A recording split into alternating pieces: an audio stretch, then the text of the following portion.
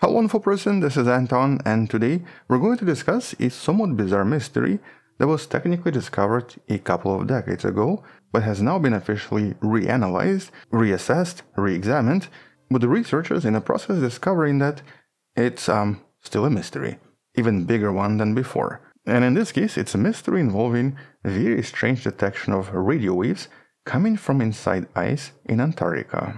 Most recently reported in this study on the search for the anomalous events detected by ANITA using the Pierre Auger Observatory. And so let's discuss exactly what all of this means, what this analysis was all about, and of course discuss the anomaly and what it potentially means. And I guess let's start with that. Here we have to go back to 2006 and a somewhat intriguing mission known as ANITA, Antarctic Impulsive Transient Antenna. Although technically this was not just an antenna, this was literally a flying observatory. Because ANITA is an experiment mostly designed to study various cosmic neutrinos by detecting various emissions from neutrinos as they pass through the Antarctic ice. But in order to detect them, it had to be flying above this ice. And so here this observatory was suspended from a helium balloon flying above approximately 37,000 meters, or I guess just over 100,000 feet in altitude. With this whole mission being funded and led by NASA and the University of Hawaii at Manoa. But in terms of the actual science, here this was based on something really intriguing. It's actually known as Askaryan radiation, an effect that usually causes very specific emissions of radio waves or microwaves when a fast-moving, powerful particle passes through something containing salt at an extremely high velocity, usually higher than the light is allowed to travel in this particular material. So it's kind of like the famous Cherenkov radiation, but in this case it produces radio light and requires a dielectric material. So in this case it can actually be produced by passing through ice or technically even lunar regolith. And so this can be used to detect ultra high energy neutrinos by flying these high altitude observatories. And so over the period of approximately 10 years, ANITA did discover several anomalous radio signatures consistent with some kind of a very powerful particle producing unusual emissions. And the first such detection was back in 2006. Here there was a detection of a short pulse of radio waves coming directly from below, as if it was actually coming from the Antarctica ice. But surprisingly, this unusual event resembled an upside down shower of cosmic rays. So this was not something bouncing from the surface as predicted previously, instead it literally seemed to be coming from ice, or it passed through ice and thus possibly passed through the entire planet. And since the purpose of this detector was to try to discover very powerful and very unusual events, although in this case the purpose was to actually find unusual neutrinos, here it kind of completed its mission almost right away. It detected a very bizarre, very unexpected, and potentially a rare event. But this was just the first. There was another one a few years later, reported in this study back in 2018, an unusual upward-going cosmic ray-like event in the third flight of ANITA. And that of course implied that something really bizarre was happening here, and something that actually did not have a physical explanation, because none of the previous assumptions and previous explanations seemed to fit the detection and the evidence. All of these radio waves that were detected were at very steep angles, at least 30 degrees below the surface. And this was practically impossible according to the standard model of neutrino properties. And so some of the follow-up studies by the famous IceCube neutrino experiment, although this experiment searches for neutrinos with much lower energy, ended up not seeing anything, especially from the location where these events might have happened. In other words, if neutrinos were coming from somewhere, there seemed to be nothing powerful in that particular location. But apart from these two anomalies, ANITA actually did discover something it was searching for this whole time. Here there were four events during the ANITA 4 mission that were directly consistent with something scientists were looking for for a very long time. A type of a particle air shower produced by extremely powerful cosmic rays or extremely powerful particles coming from other galaxies, and specifically something that results in the elusive tau neutrino, one of three types of known neutrinos and the most elusive of them all, and also technically the most powerful.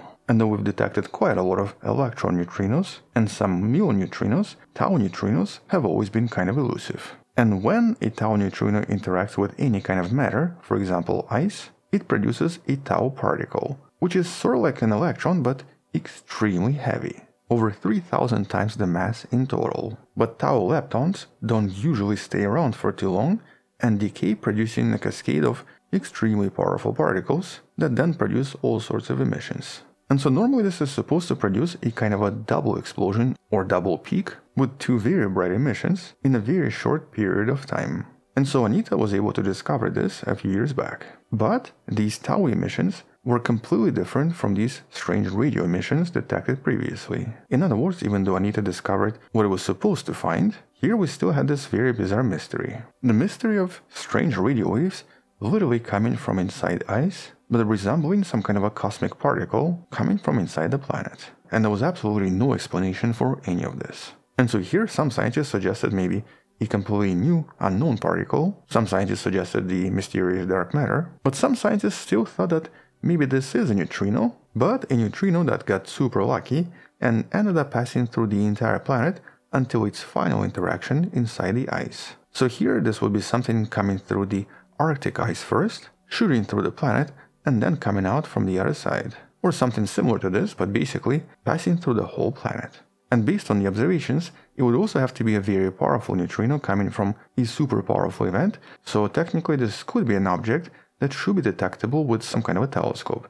So here we're talking about either a supermassive black hole or some kind of a quasar or a blazar, or maybe some kind of a supernova event. But out of these two anomalies, only 2014 detection might have been possibly a result of a supernova. Here there was actually a supernova happening around a very similar time frame, and it's actually this supernova from the galaxy Messier 82, and a supernova that produced this extremely beautiful light echo with this gorgeous image showing us where it happened. But because this was a Type 1a supernova, this was also kind of difficult to match because we don't think these supernova should be capable of producing neutrinos of such power. And so in order to confirm if maybe these are supernova events, researchers had to do one thing. They had to try to find a supernova in 2006 as well. In other words, in order to explain this and to confirm that this was a neutrino, and the neutrino that somehow passed through the entire planet, researchers had to find some kind of a powerful source, and specifically another supernova. And because both signals in this case were characterized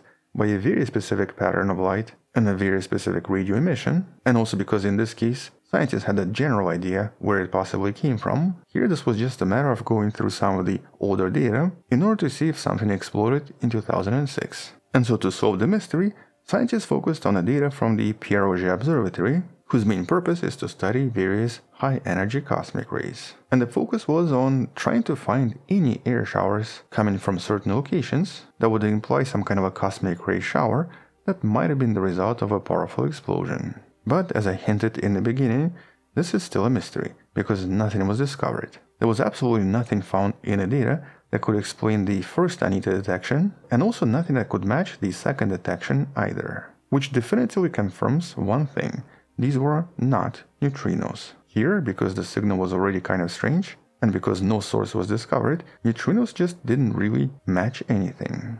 And so does that mean that maybe this is a new particle after all? Well, without having more detections and additional observations, nobody actually is going to know for sure. But interestingly, in one of the recent videos in regards to a different neutrino detector located off the coast of Italy, We've discussed a somewhat exciting new proposition and a somewhat exciting new explanation for some of these bizarre energetic particles. And though the video should be in the description and you can watch this in your free time, um, in a nutshell, maybe this is actually dark matter after all. In other words, maybe what we're seeing are extremely, extremely rare dark matter particles that seem to leave behind a mark when once in a while they interact with something as they pass through planet Earth.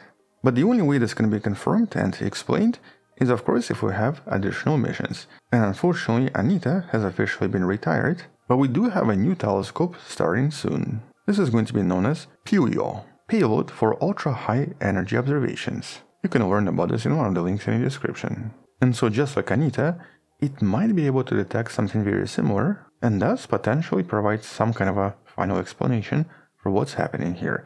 At the moment, as of mid 2025, absolutely no one has any idea what was detected. We just know that it was not neutrinos, and right now nothing else makes sense. But because this new telescope is going to have better sensitivity, in theory it should see even more of these anomalies, and thus potentially lead us to the source. But only time will tell exactly what this is.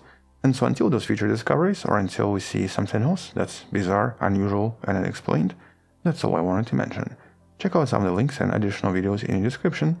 Thank you for watching, subscribe, come back tomorrow to learn something else. Support this channel on Patreon where you can find additional videos, videos without any ads, and footage you've never seen before. Maybe support this channel by joining the channel membership that contains early access and some other stuff, or by buying the wonderful person t-shirt you can find in the description. Stay wonderful, I'll see you tomorrow, and as always, bye bye.